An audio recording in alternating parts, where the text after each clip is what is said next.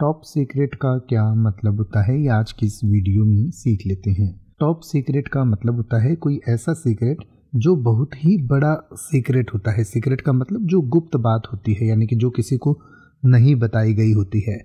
और ये गुप्त बात जो है, वो किसी भी स्तर की हो सकती है। यानी कि मान लीजिए कोई दो दोस्त हैं, उनके बीच का कोई ऐसा राज हो सकता है जो उन्होंने किसी को भी नहीं बताया, बस वो दोनों जानते हैं।